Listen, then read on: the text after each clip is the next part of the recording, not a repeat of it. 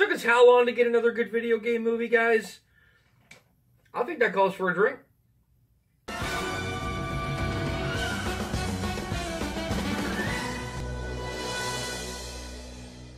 Tomb Raider, the latest video game adaptations after a slew of, let's just say, not good ones. Film sees Alicia Vikander starring as the lead character of Lara Croft, the Tomb Raider that we all know and love from the video games.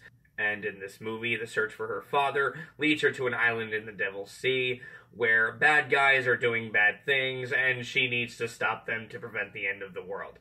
I mean, guys, it is a video game film, so if you were expecting any more depth to the story beyond what I just told you, seek help. Now, I'll be perfectly honest, I never really cared for the Tomb Raider movies with Angelina Jolie.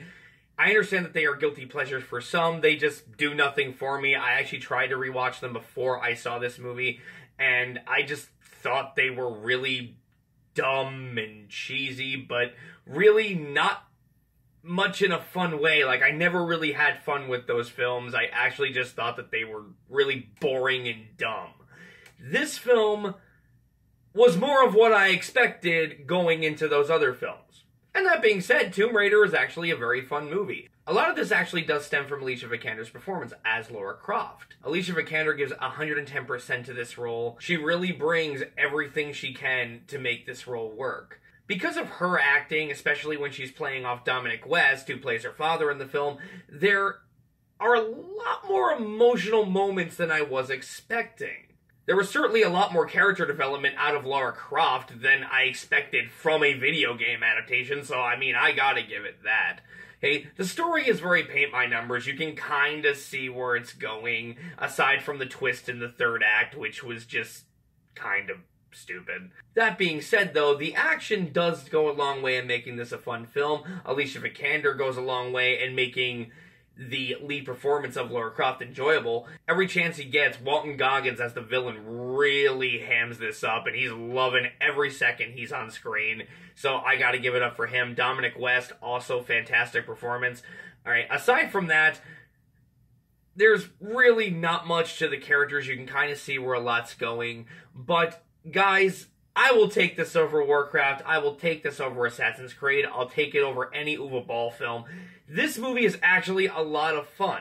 It's one of those movies you go in, you turn your brain off, you have a really good time. As far as it being an adaptation, I, it's definitely going to be mixed for some because they try to mix elements of the original game and the new game that came out a few years back into one movie. Some of it is okay, some of it just does not really mesh that well and really it's really going to depend on which one you were more into. Were you more into the older games? Were you more into the newer games they really did just try to mash up a bunch of the old and new plot points together. Some of it worked, some of it didn't, but I felt that the stuff that worked really outweighed the bad. I had a really good time with this film all throughout. I loved the action, I liked a lot of the performances, and I liked that they actually made Lara Croft a very conflicted character. Somebody who's not just a gun toting badass, someone who actually has to learn as she goes along from her mistakes and from her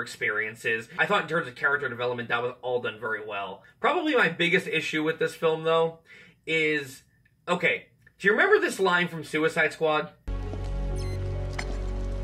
How are you not dead? That was literally what I was saying almost every 10 minutes of screen time. Like, really.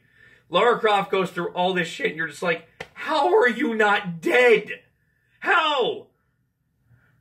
No. No.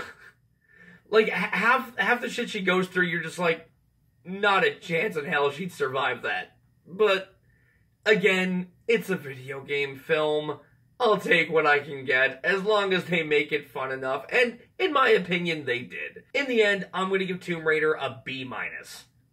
I definitely do think that this is one of the better video game adaptations, and I do think that you should check it out. So what did you think of Tomb Raider? Have you seen it? Let me know in the comments, and please subscribe if you want to see more.